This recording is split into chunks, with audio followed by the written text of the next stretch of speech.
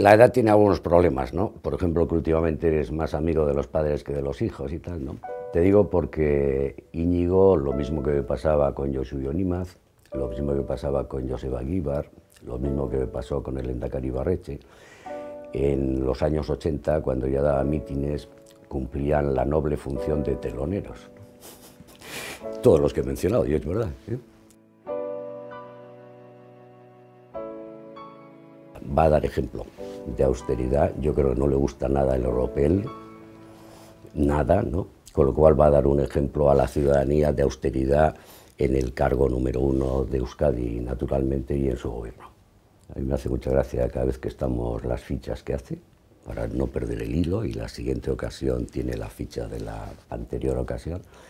Es una persona enormemente trabajadora, creo que es de una honradez extrema, y eh, durante estos últimos años ha ido adquiriendo conocimientos pues, que probablemente por su actividad anterior no tenía. Yo me siento muy cómodo con él. Nosotros estamos vinculados a una crisis global.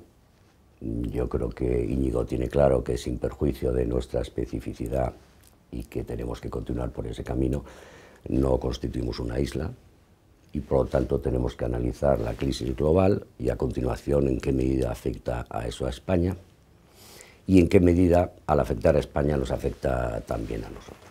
Hoy, hoy, y me temo desgraciadamente que durante muchos años la prioridad es el tema económico y social. De lo que se trata es de que el foco hoy hay que ponerlo en solucionar el problema de la crisis económica y social, lo cual es perfectamente compatible con que naturalmente siga teniendo el PNV el mismo ideario que ha tenido siempre. Pero lo ha tenido siempre, en mi opinión, al servicio de los ciudadanos y ciudadanas.